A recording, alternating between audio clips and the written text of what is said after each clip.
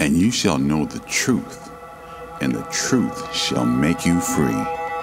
Every day we stand in an epic spiritual battle between good and evil, and safety is of the Lord. This is Truth Dealer Radio. Warning believers to wake up and be sober, encouraging believers to stand on the Word of God, and motivating believers to be truth dealers with a bold witness for Jesus Christ in these end times.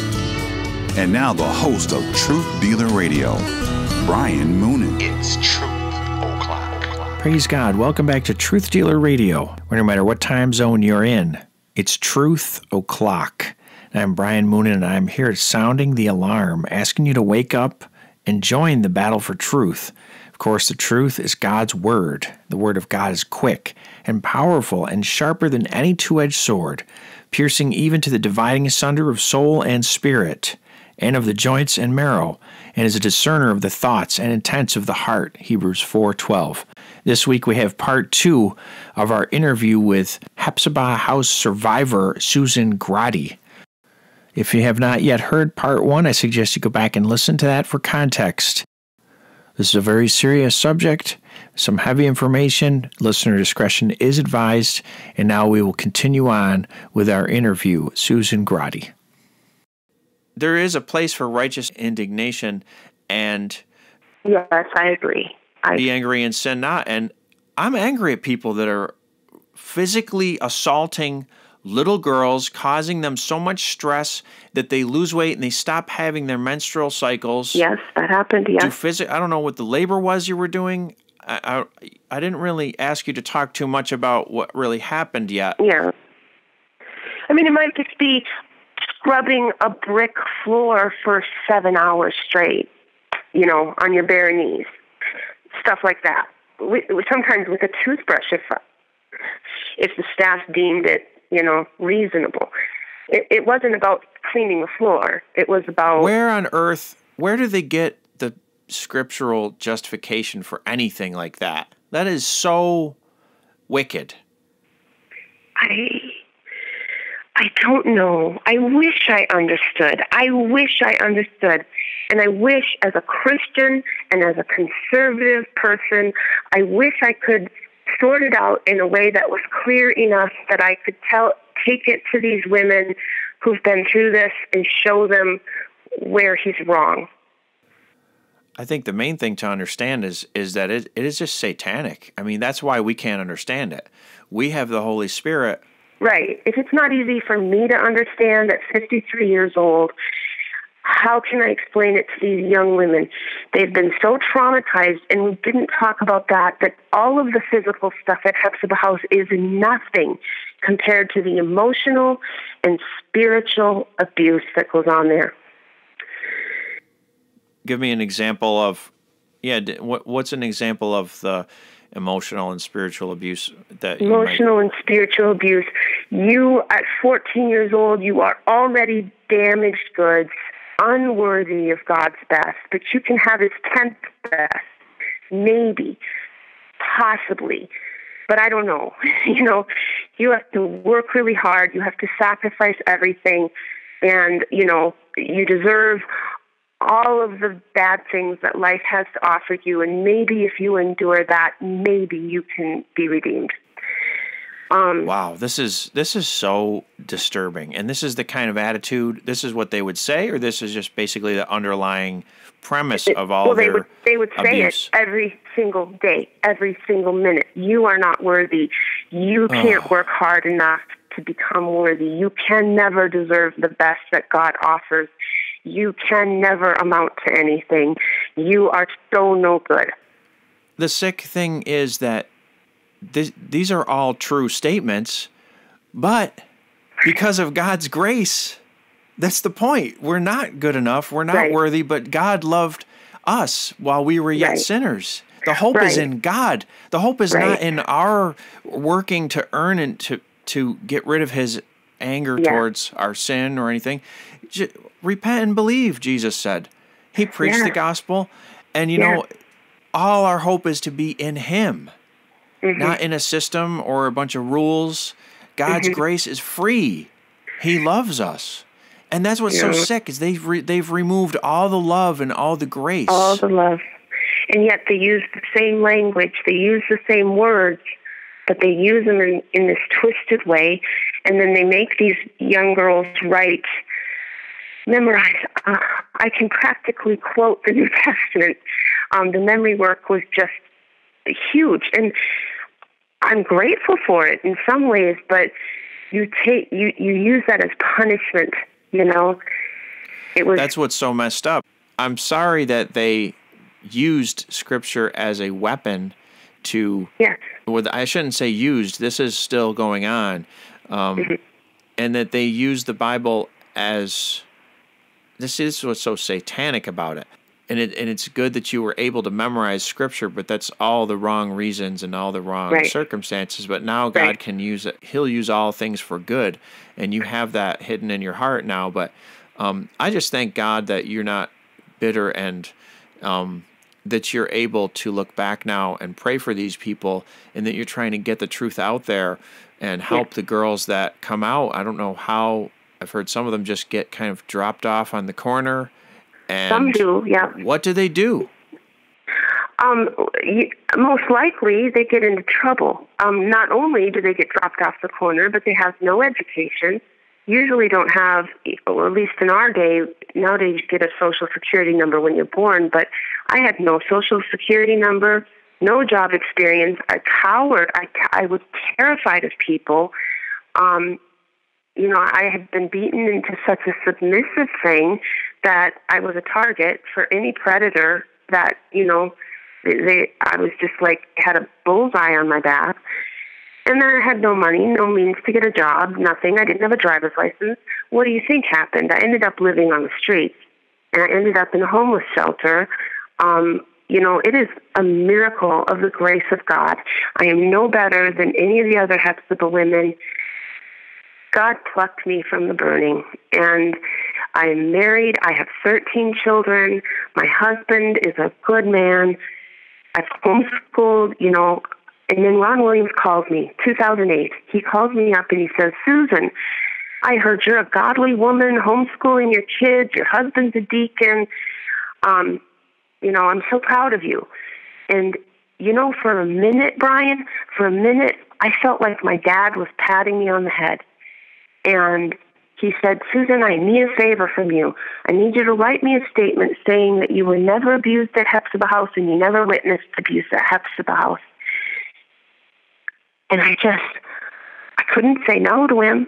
I couldn't, but I did. I said, um, you know, let me ask my husband. Let me talk to him about it. Give me, give me the name of your lawyer, and I'll, I'll, I'll let you know. Well, he told me to send it straight to him, and he would edit it for me. Um, and then I got off the phone with him, and I was very, very upset. I was very upset. A that I felt like a ten-year-old child again, and I was afraid, and also yearning to give him the statement he wanted from me. I don't know where that came from. but Well, it's your guilt because this is what cults do. They demand your loyalty and they they deceive you. The devil deceives you and like any other like any other um cult. You know, I've I've heard about this and there was a documentary film made called Join Us about a cult that was led by a, a strange man. I'm not going to call him a pastor, but these people, you hear the same thing. They felt this strange loyalty because they were brainwashed. Susan, you were brainwashed by Ron. Even after all those years, it was it was a shocking thing that I that I felt that subservience to yeah, him. he called up, and when you heard his voice and his ways, it triggered you. I guess.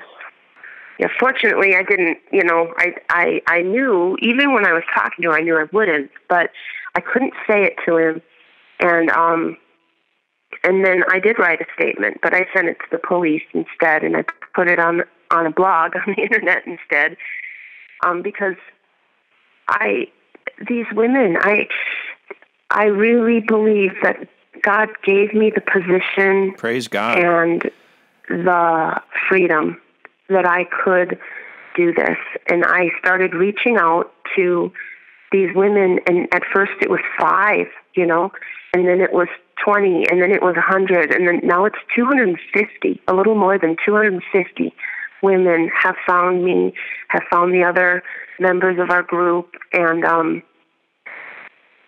I just, I pray for them. I love them.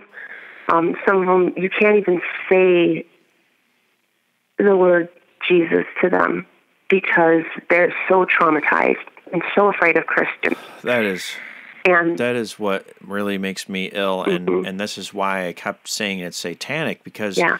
the devil's favorite thing might be to impersonate a man of God and to twist the word. be. I mean, the- Satan Satan the first thing he did, he didn't tell Eve in the garden of Eden there's no God, there's no such thing as God. He took God's actual words and twisted them and turned Eve to just turn five degrees, you Yeah. know, and sin against God, who she knew personally. And he didn't do it by saying, you know, there's no God or God. right, And and this is what he still does. He is behind the pulpits of many churches and it's hard to get people to understand that. I've seen it for my own with my own eyes at churches sometimes where people if the pastor is doing something wrong, the last thing that they think of is holding him accountable. yeah, It's like he's he's the leader of their whole life mm-hmm. and they they don't understand that in the scripture much like how in the founding documents of America there are solutions for problems that come up. You know, if the government becomes tyrannical, we're supposed to change it and fix it. Mm-hmm. In the Bible, you know, the position of a man who is serving the flock as a pastor, he's supposed to be a servant, not ruling over everyone like a dictator, and there are qualifications that are supposed to be met. And if he goes against half or most of those qualifications, you're supposed to remove him in love and get a different person to be the pastor. And that is just unheard of. But this is the problem with, you know, I'm calling it the modern American church model. Mm-hmm. Hep- getting back to Hephzibah House, your parents were the ones that picked you up when it was time for you to go yes, and then you you somehow you ended up not back at home but going Well, through I went home first, but you know, such a wedge had been driven between my parents and myself by Ron Williams. I didn't trust them. They didn't trust me. They thought I was weird. Um, they didn't understand why I was afraid of everything. I couldn't manage myself. I'd lived in such incredible structure that freedom was something. I mean, I was I was falling apart, and they didn't know what to make of that. I I just you know they expected me to come home and get a job and go to college and date a boy and get married, and I couldn't go to the bathroom without asking permission. Um, I Ugh. I didn't know how to feed myself. I didn't know how to decide what time to get up and what time to go to bed on my own anymore. I mean, I was just I was like an infant, and um, I'm so sorry. Yeah, they put me in they put me in Bible college and I failed. I I wasn't doing well and um you know, one little domino after another. I just it took me almost 2 years before I figured out how to say no, how to take just a, enough charge of myself that I could function as an adult human being. Um, and from there, you know, able to build, build, build, and um, build a beautiful life. But uh, Well, glory to God for that. definitely glory to God. Amen. Did did your parents ever are they still alive and have they ever realized yes. their role in what happened to you and do they now believe you? Yes, they do. My parents are both still alive. They're quite old, and they feel terrible about what happened at Hephzibah House. And you know, they were lied to. They were told, you know, it was something completely different than it was, and they were told by Ron Williams that I wanted to stay there, and um, I, you know, I had to write flowery letters home, and they That's sick too. They make you write letters under duress. Oh yes, yes. And and the letters It seems like so, there should be Yeah, it seems like there should be some kind of legal action taken against them for things like that. When you're a minor child Yeah. and you're being you're somebody's lying to the parents saying you want to still be there, you're really being held captive and he's profiting off of it because they're Yeah. paying for you to be there every month, right? Absolutely, yes, yes. Unbelievable. Plus, he brings in lots of money in donations for us being there, and then he feeds us scraps. You Yeah. know, Cuz it's such a godly cause. right? I heard someone saying that they were eating slop and up on the balcony the Ron Williams and his wife were eating like, you know, barbecue and and Yeah. laughing about, you know, that they were having all this nice cookout up there and right. I mean, the women that are there, I mean, it's hard for me to understand women not having a natural affection, but it's, it's more so and more now. It's easier to understand now because we see more of it. But back in the 80s, as far as the women, um, how did they treat the girls and how how can they get that way? um, the the staff ladies treated us with utter harshness. They were like commandants in a concentration camp. When we come back, Susan will describe how she was treated by the women of Hephzibah House. And thank God we'll learn about how God has allowed her to use her experience to try and help other ladies who have been abused. And also what we can do to help. We'll be right back. Truth Dealer Radio. Truth Dealer Radio. No matter what time zone you're in, it's Truth O'Clock. Since 2016, KJV Prepper has been providing quality, original Christian apparel and gear that will witness to non believers and encourage believers in the Lord Jesus Christ. All designs are original, and all apparel is printed here at the KJV Prepper Workshop in beautiful upstate New York. Visit kjvprepper.com for effective Christian apparel, worn to warn. Praise God. Welcome back to Truth Dealer Radio. I do want to share a coupon code with you for 20% off. Use the code VIGILANT2019. Vigilant 2019. You'll get 20% off kjvprepper.com. Before the break, we heard from Susan. She was beginning to describe how the women in the Hephzibah house treated the girls, some as young as 12. And we're just going to pick up where we left off. Um, the the staff ladies treated us with utter harshness. They were like commandants in a concentration camp. Utter harshness, dragging girls across the floor with by their hair, shoving girls into a shower and scrubbing them down, um, screaming at them and calling them names, um, beating them with boards until they were bloody. You know, um, just and and everything was derogatory and everything was cruel and everything was harsh. And Ron Williams would praise them. He'd say, "Oh, we get a new staff lady in here, and she wants to be nice. She wants to be kind to these girls. Takes her about six months to learn how to be a good, mean mama." And that's a quote. And then he would say, "You know, you got to start looking at things the way they are instead of the way polite society wants you to be, kind and sweet. You got to be a good, mean mama." she would say, Unbelievable. "Yeah." And this man is still there. Yes, yes. Is he in his 80s? I think he's near 80. And his son is in his 60s, probably? His son is my age almost exactly, so he I'd say it's 54. That's very inappropriate, too. Yeah, I I was never disciplined by him when I was there. And by the time you know, once he was grown and married, I think he did participate, but when he was a teenager when I was there, he didn't. Okay. And as far as Ron, that's the father, Mhm. is he also the pastor He used to be.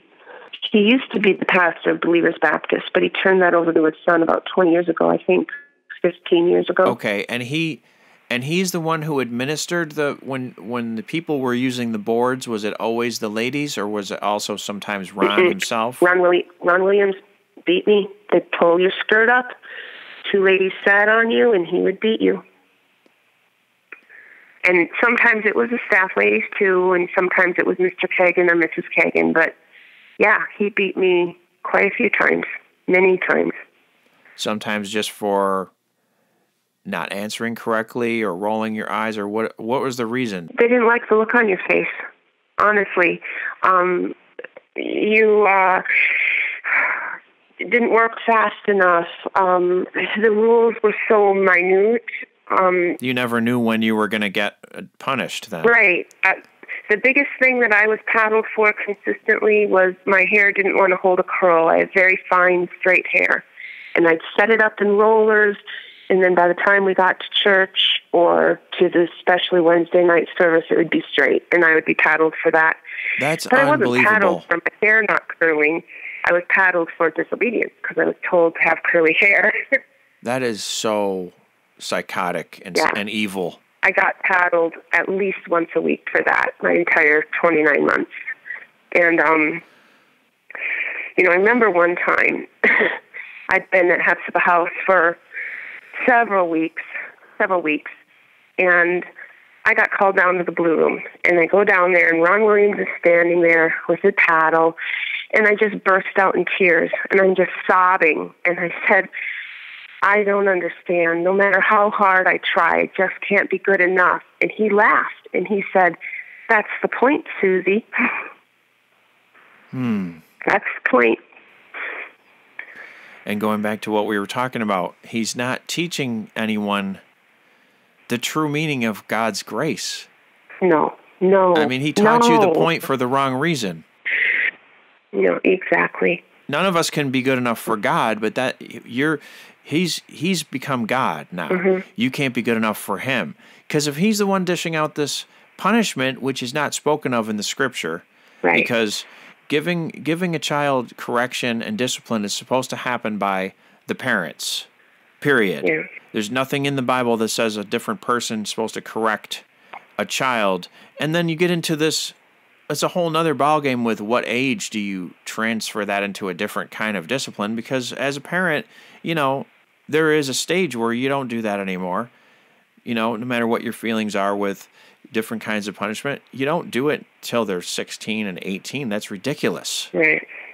Right. My children started to behave, but sister, I mean, praise the Lord because the Bible is true.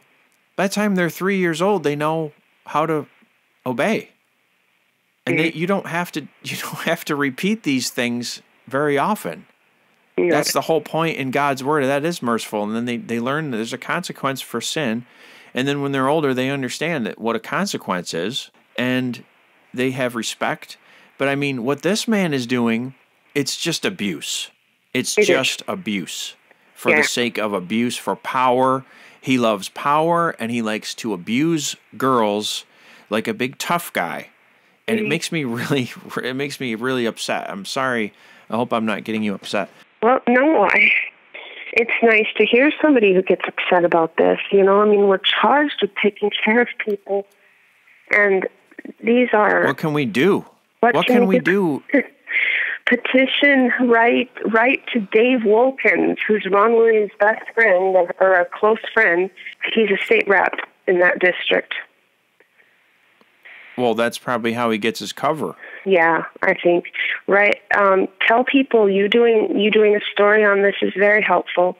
But I will put Um, this podcast also on YouTube, and You know, and t- so maybe some people will hear it and share it, and then it's it's a great thing about social media. Social media can be used for good or bad, and I really have been blessed by how God. I'll, I'll hear from people that you know somebody shared something and somebody else shared something, and then it gets to somebody, and you'll you'll hear back from people that uh, something really blessed them or that helped them. Um, people get saved. So social media can be great for sharing and getting the truth out there. yeah, And people just need to be warned. When I started to learn about this, I was so disgusted that, I mean, it's been bothering me ever since. I, I Thank you. can't, thank you for that.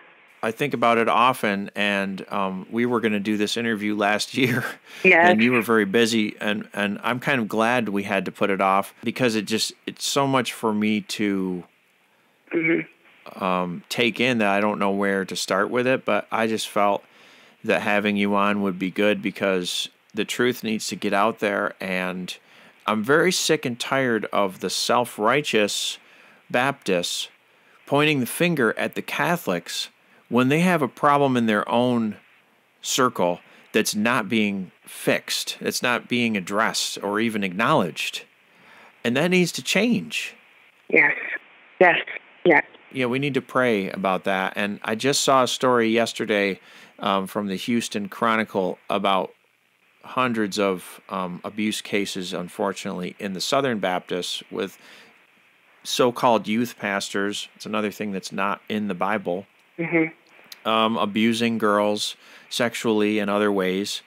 And, you know, it just goes on and on and on. It's, it's a, the, the system itself has to be broken or else these kinds of environments would not be created.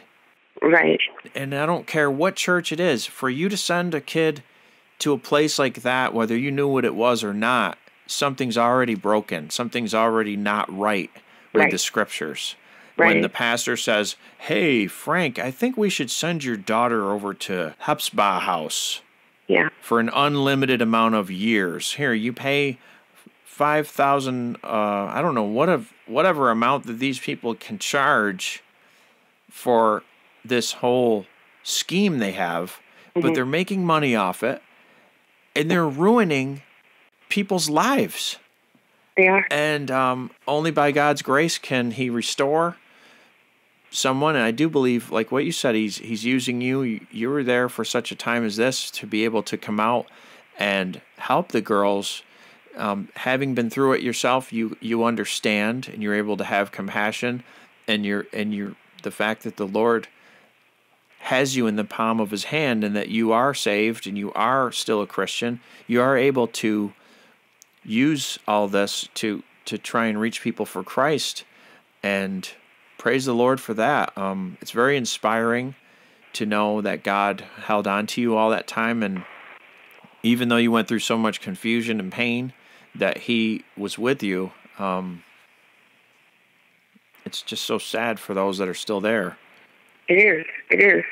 And every person who's brave enough to speak out and say, you know, eventually, eventually the good men, the good pastors, the good shepherds are going to realize this is a real problem and they're going to find ways to protect their flocks. And part of that is denouncing Robert Williams and his work. You're supposed to judge a ministry by its fruit. I know fruit. I can give you 250 names. The fruit of Hephzibah House is rotten. Do you have a website where these testimonies are written down of these other ladies that you've been able to contact over the years? Yes, HephzibahGirls.com. Well, thank you, Susan. Um, I think we'll wrap that up. And I just want to thank you for coming on Truth Dealer Radio. Um, I wanted to close with this scripture because this is just what's always on my heart when I hear about Hephzibah House and other places too. They have ho- homes like this for young men, homes, Yes. whatever you want to call it, camps. Um, and and I'm not saying that they're all that bad. There may be a situation because boys and girls are, are quite different. There may be a situation where a guy is of a certain age needs to go somewhere and uh, learn a few things. If it's not abusive, Mark nine forty two, and whosoever shall offend one of these little ones that believe in me, it is better for him that a millstone were hanged about his neck and he were cast into the sea. And that's what I always think of are the the words of Jesus when I hear about these places, um, because these people, above all, that the people that are running this place, they're committing grave sins and they're they're in a lot of danger, and I have a sick feeling that they think that God's going to reward them when they when they Yeah. die. Yeah, And yeah. I think instead, I think what they're going to hear is, "Depart from me, you workers of iniquity. I never knew you." yeah. That's, That's my instinct. That's my feeling it- from you know or at least knowing they're the going Lord. to be, And, you know, they're going to be gravely, gravely sad. you know. yes. Thank you for coming on the show, Susan. Thank you. Thank you. And like I said, please share the story. Let's stop the abuse. Um, give these girls hope and show them that Christians are not all monsters. Amen to that. And the sad thing is, these days there are a lot of tares among Yeah. the wheat, and there may even be more tares than there are saved. And this is an issue we're going to keep on battling as we get closer in the end times here to the Lord's return. He did say it's going to wax worse and worse, and that there's just going to be a remnant. So that problem won't go away. But yes, we do need to stand up and show the lost that we do have compassion and Yeah. that the real God loves God so loved the world that he gave his only begotten son the Lord and as I said he died for us when we were yet sinners. You don't have to be perfect to come to Jesus Christ. That's the whole point. That is the whole point. Right. All you need to do is recognize that you are not perfect. You've broken his 10 commandments, you've sinned against God and he is there to forgive you. Go to him and you know we're going to have links in the description box with the gospel for people to read more about God and Jesus and and um, what the Bible really says about him and how he loves you and how he wants to help you and save you and those of us that have been through hard times as kids it's one of the worst things you can learn about, but we do need to keep praying for those kids and let's pray for Ron Williams to repent. yes. Yes. Thank you. Thank you so much for coming on. Thanks. God bless you. Bye bye.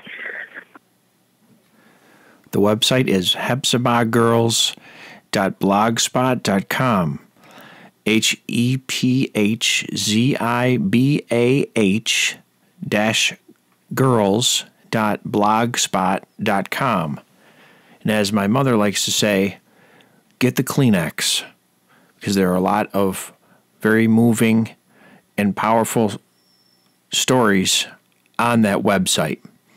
I suggest you take a few minutes and go there and read about it and share these stories. We have a lot of praying to do for these girls, for these women, and this nation needs to repent. This abuse in the name of Jesus Christ needs to end. So I suggest we write to Representative David A. Wolkins, W O L K I N S. He's an Indiana Republican, and the link to his information will be in the description box. Let's give him a call, shall we? Let's ask him if he supports child abuse at the hands of his friend Ron Williams. Thank you for joining us on Truth Dealer Radio. Truth Dealer Radio is listener supported, and if you are led to support Truth Dealer Radio, there is a way to do that at truthdealer-radio.com. Thank you for listening. I hope you join us again next time. God bless you. Be strong. Truth Dealer Radio. No matter what time zone you're in, it's Truth O'Clock. TruthDealerRadio.com. You keep talking about Jesus. Some folks out there just might be listening.